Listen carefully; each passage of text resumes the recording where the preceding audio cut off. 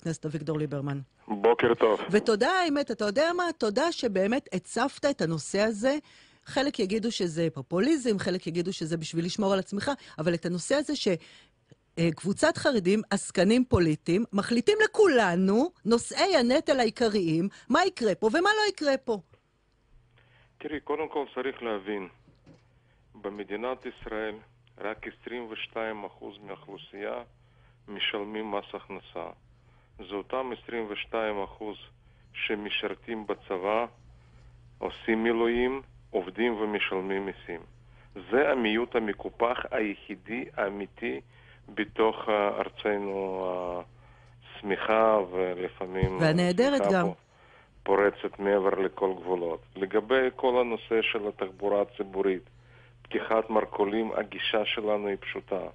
בשביל זה יש חוקי עזר, שבכל עיר, בכל מקום, בהתאם לאופי הקהילה, יתנהלו הדברים. אני אהיה הראשון שיתנגד לפתיחת מרכולים בשבת בבני ברק. אין שום סיבה לסגור מרכולים בשבת בראש פינה, או בחיפה, או בתל אביב.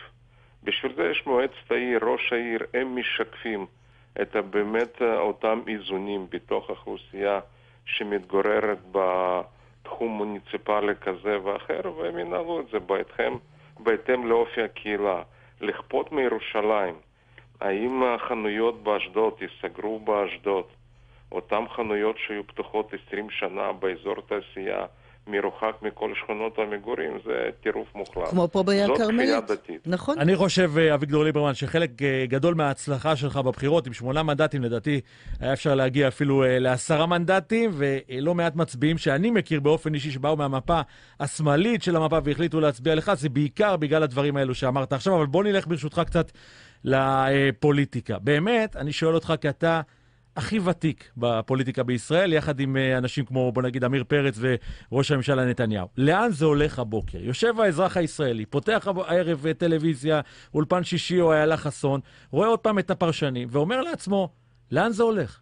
אות, אותם 22-23 אחוזים, כן? קודם כל צריך אה, להבין, אחריות קודם כל על שתי המפלגות הגדולות. כחול לבן יחד עם הליכוד 65 מנדטים. עקרונית הם לא צריכים אף אחד נוסף. זה ששתי המפלגות הגדולות לא מצליחות בגלל כל מיני סיבות להגיע להסכמה על הקמת ממשלת אחדות לאומית רחבה, זה באמת סימן שאלה גדול עבור כל מערכת פוליטית במדינת ישראל, במיוחד על רקע תדרוך שעשה רק אתמול הרמטכ"ל. ואני בכלל הייתי אולי קצת מפנה תשומת לב לכמה אירועים מאוד סמליים אתמול. קודם כל שמענו uh, דברים מאוד uh, ברורים, מאוד uh, מדאיגים של רמטכ"ל. על רקע איומים והמערכת השברירית, גם בצפון, גם בדרום, האיומים, האתגרים. ומה היה עוד אתמול? אתמול נכנס שליח הקטרי עוד פעם לרצועת עזה, ובמסגרת כניעה לטרור ותשלום דמי פרוטקשן, כן. העביר עשרות מיליוני דולרים לארגון טרור חמאס, ובמקביל חמאס אתמול עשה ניסוי טילים, ירי לעבר ים, על זה אגב הייתה אזעקת צבע אדום כנראה. כן, ואצלנו במהר בתקשורת הגדירו אותה אביגדור ליברמן אזעקת שווא, היא ממש לא אזעקת שווא, הם, הם מתאמנים שם ליום שיגיע כן. חלילה אזעקת אמת. אבל, אבל מה אתה לא, בעצם לא, אומר? זו הייתה אזעקה, אזעקת אמת על אותו ירי טילים של חמאס לכיוון הים, הם ממשיכים ב... באימונים. באמת בבניין הכוח, הם ממשיכים לפתח טילים, אה, באמת משפרים את ה... טווח, את הדיוק, אה, חמאס אה, מייצר אה, היום באמת כל יום רקטה שמגיעה עד תחנת כוח חדרה, ושכל... אז אתה יודע, אביגדור ליברמן, מה, מה אומרים מנגד בליכוד. נכון, אביגדור ליברמן צודק. אנחנו בתקופה מתוחה, מצפון, מעזה, מכל החזיתות. בוא, שיצטרף למפלגת, לממשלת נתניהו. אה, נרכיב קואליציה, כחול לבן לא רוצים לשבת עם נתניהו. בואו, שאביגדור ליברמן יציל את, ה, את המדינה מה, מהמצב. אני לא הולך לשבת בממשלה שמדיניות שלה כניעה לטרור.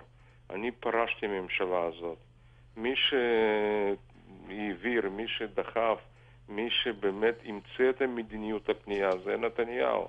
אני רוצה להזכיר לך, אני פרשתי בנובמבר 18 במחאה על כך שאחרי שיגור של 500 רקטות על עוטף עזה, על דרום הארץ, במקום באמת להנחית מכה הכי קשה שרק אפשר, מה שרציתי, נתניהו מנע את זה והחליט על מדיניות, מה שהוא קרא במרכאות, אתה יודע, מדיניות אה, הפיוס או... הכלה. אה, בפועל זה מדיניות הכניעה לטרור, ואני קמתי ועזבתי. אבל אפשר רגע, רגע, יכול... לנתניהו אין שום כוונה לשנות את המדיניות מול טרור. הכניעה הזאת לטרור בעזה אה, פוגעת קשות בהרתעה שלנו, שוחקת הרתעה שלנו, וחלק אה, מאותו מצב שברירי כרגע גם בצפון וגם בדרום זה אותה, או, אותו אובדן הרתעה שנתניהו נושא באחריות. אז אני רוצה לשאול שנייה, בשם העם שיושב בציון, אתם המנהיגים שלנו, אתם הנבחרים שלנו, מה אנחנו צריכים לעשות, או מי מכם מוכן להיות המבוגר האחראי שאומר, במקום אני לא עושה את זה, ואני לא עושה את זה, וההוא לא עושה את לא, זה. לא, לא, ו... אני חושב שאני הצעתי מתווה מאוד ברור. אבל המתווה שלך הוא לא כל כך אה, ישים כמו שאנחנו רואים. תקשיבי, הוא, הכי, הוא הישים היחידי. אמרנו, קודם כל, אנחנו רוצים קווי יסוד. הרי לא מקימים ממשלה רק כדי לתפוס את הכיסאות. אם אני רוצה כיסא, אני יכול לקבל כל כיסא בכל רגע נתון, גם מצד הזה, גם מצד השני. אני רוצה נכון. קודם כל קווי יסוד. סעיף 2 זה קבלת מתווה הנשיא, קרי מנגנון לאותו, לאותה רוטציה. סעיף שלישי, אישור התקציב ואישור תר"ש, תקציב רב-שנתי כפול, קרי לעשר שנים לצה"ל, וסעיף רביעי, כל מפלגה אחרי אה, שגיבשנו קווי יסוד ויש תקציב מאושר, תוכל להצטרף על בסיס אותו תקציב, כן. אותם קווי יסוד. זה אוקיי. שבינתיים שני הצדדים אה, מתבצרים, מתחתמים, מתעלמים מזה או לא מקבלים את זה, אז... אה, תראה, ניתן, ניתן אתה, דבר, אתה, דבר אתה, אחד, אתה, דבר אחד ייאמר לזכותך, שנייה רגע ענבר, דבר אחד ייאמר לזכותך, וגם דיברנו על זה אני וענבר פה בהכנה לקראת התוכנית. הצבת איזה רף של אמינות ויושרה שלא הייתה בפוליטיקה הישראלית, כי תמיד היו בחירות, כולם צעקו, כולם רבו אחד עם השני, ובסוף כולם ישבו כמו שאמרת. אתה אומר ביושר, ואתה גם מיישם את זה, אני לא צריך את הכיסא, אני לא צריך שיפתחו לי את הדלת ברכב, אני לא אהיה שר, ואפילו אתה אומר, אין לי בעיה לשבת באופוזיציה, רק שיקימו אה, ממשלה. אבל מצד שני, אתה גם מכיר, אביגדור ליברמן, את השחקנים המרכזיים בליכוד יותר טוב מכולם, את גדעון סער, את משה כחלון, את גלעד ארדן. האם אתה מאמין שבני גנץ יוכל לפרוץ את הסכר הזה, את, ה, את הגוש הזה, ובשלב מסוים, אולי במאני טיים, כן לקחת איתו כמה מהליכוד או מישהו מהמפלגות גם, האחרות גם ולהקים את זה? גם ביטן אמר שאנשים יתחילו אה, לרעוד אה, כשהכיסא שלהם מתחיל אה, להתרחק. תראו, אני חושב ש... אתה יודע, אם אנחנו נעשה אנלוגיה למשחק כדורגל. הייתה מחצית ראשונה, מחצית של בנימין נתניהו, 28 יום. עכשיו התחילה המחצית השנייה, מחצית של בני גנץ, ואחר כך יש זמן הפציעות. להערכתי ההכרעה תהיה לקראת סוף מחצית השנייה או בזמן הפציעות. לפחות אני יכול להתחייב שמבחינתי המאמץ העיקרי, א', זה למנוע בחירות uh, סיבוב שלישי, ב', uh, להקים uh, ממשלה, באמת ממשלת אחדות לאומית רחבה, אני אומר, זה, אני מאוד רוצה... את מי אתה מזהה שם כחוליה חלשה שברגע, ברגע האמת? אני לדבר על החוליה החלשה. אני חושב שכרגע ברור לכולם ששעון החול מתקתק והוא נמצא על השולחן נכון. של כל הפוליטיקאים, כולם נושאים באחריות. כוונות טובות זה לא מספיק. אני אומר לישראל ביתנו יש כוונות טובות זה לא נכון. לא מספיק. אה, צריך אה, בסוף להצליח ו... כן. לספק את הסחורה. אני... אה, בוא נקווה. אמרתי, נעשה הכל, ואני מקווה שגם נצליח בכל כן. זאת למנוע סיבוב שלישי. לסיום, אני רוצה לדבר איתך על משהו שקשור כאן, אצלנו, על הבית לחיפה, בית המשפט המחוזי בחיפה, שלשום, והייתי שם אה, כמובן, אה, גזר דין של 16 שנות מאסר בלבד, כמו שאתה אומר, לאדם שסייע לאחד הפיגועים הרצחניים. הוא לא סייע, הוא היה שותף פעיל. היה שותף, שנייה. אני רוצה רגע להשמיע לך ברשותך 15 שניות של הרעיון שבאמת אה, הפך גם לך את הבטן ולמדינה שלמה, שכיב שנאן, האב השכול בפיגוע הזה. זה עונש לא מידתי. בית המשפט מסייע לרוצח הבא שמתכונן עכשיו באום אל-פחם לעשות עוד פיגוע בירושלים. צר לי, צריך להרוס את הבתים של המחבלים, צריך להרוס את הבתים של המחבל הזה, צריך למנוע את הזכויות שלו בביטוח הלאומי, וצריך לעשות חקיקה של עונש מוות למחבלים.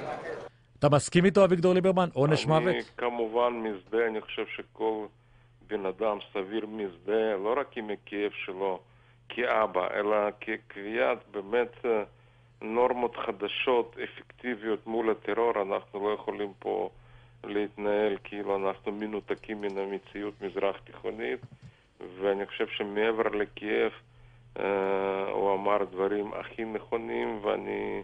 מזדהה הזדהות. למי אתה מפנה את הביקורת שלך? לפרקליטות אה, מחוז חיפה, לבית המשפט? ראש הממשלה, ראש הממשלה חתום איתי על הסכם עונש מוות למחבלים. חתום, לא רק בעל פה. כמו הסכמים אחרים שברח כן, מהם. כן, ועשה הכל כדי לטרפד את החוק הזה. כי קודם כל אתה צריך רוח המפקד. וברגע שכולם הבינו שרוח של המפקד זה באמת התרפסות וכניעה והתחמקות, אז uh, ככה זה מתפרש אחר כך גם בבתי משפט ובפרקליטות. אני רוצה לשאול אותך שאלה, משהו שמעניין אותי. אתה אמרת לא פעם שאת נתניהו מעניין רק נתניהו. עכשיו, אני, בתור משלם המיסים האידיוט ששולח את ילדיו לצבא, זה באמת מעניין אותו רק נתניהו ולא אני? תראי, כרגע אני חושב שזה לא... אני לא אובייקטיבי, ובטח בתקופה כזאת, כל מה שאני אגיד זה אפשר לפרש אה, בפן האישי, לכן אני מעדיף שכל אחד יסיק מסקנות לבד. אני יכול רק לתת לך דוגמה. פנינו בכתב לליכוד, בואו נשב, אה, ננהל משא ומתן. פנינו, לא, גם בעל פה, אבל גם בכתב. Mm-hmm. העברנו בקשה. התעלמו לגמרי.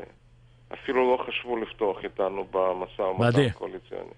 אז לכן, מטריד, לא מדהים. מה שמבחינה עובדתית אנחנו רואים, הוא מדבר על ממשלת אחדות ומוביל אותנו בכוח לסיבוב בחירות שלישי.